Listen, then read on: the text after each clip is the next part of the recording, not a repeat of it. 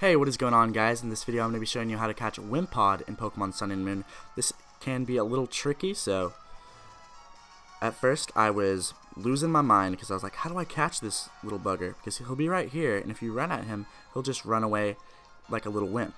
And I did not figure this out until I got the ride Pokemon Sharpedo, so I'm going to boot him up right now. And we're going to go around town this time. So we're going to get the jump on him. We're going to run at him. Bam. Make sure he can't wimp out on us. And he actually has the wimp out ability, so if you damage him below 50, I, am pretty sure he will just run away. So I'm just going to put him to sleep, throw some Ultra Balls at him, catch this, this little wimpy whimper.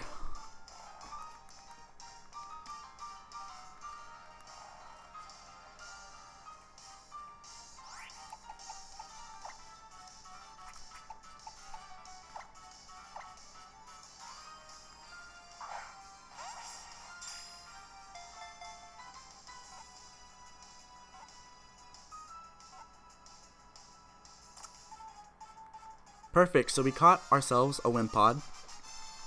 We're just gonna check out this this bad boy.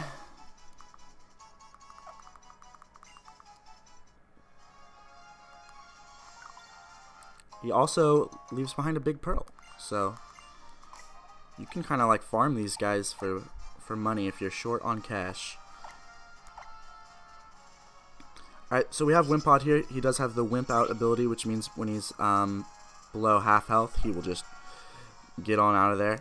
Um, but yeah, that's how you catch Wimpod. If before you were like running at him and he just runs in his little hole, you're like, how the heck do I get this guy? Now you know that you just gotta give him the old loop around. Anyway, peace out guys. Have a great day. I hope you enjoyed this video. Let me know what you decide to name your Wimpod in the comments below. Peace.